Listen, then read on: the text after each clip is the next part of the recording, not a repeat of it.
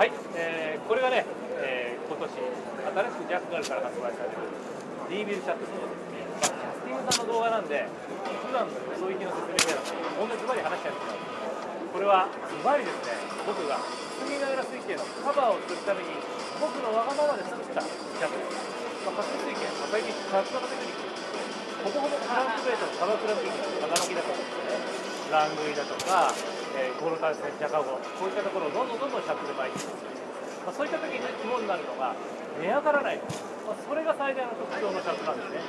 えー、この D ビルシャットの名前の由来にもなったジャックビル形状の軸と、まあ、それから、えー、マグネットが2つついてるいわゆる移動重心ウェイトですね、まあ、ガチッとウェイトを固定して